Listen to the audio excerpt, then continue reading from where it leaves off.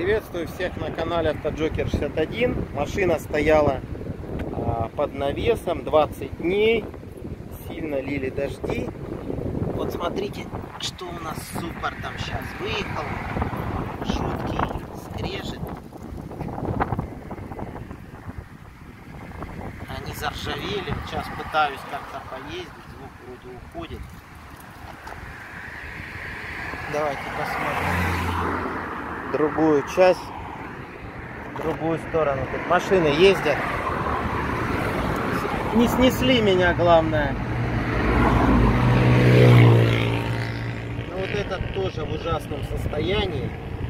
Потихоньку уходит, но стук был и грохот такой, впечатление сзади вообще что-то оторвалось.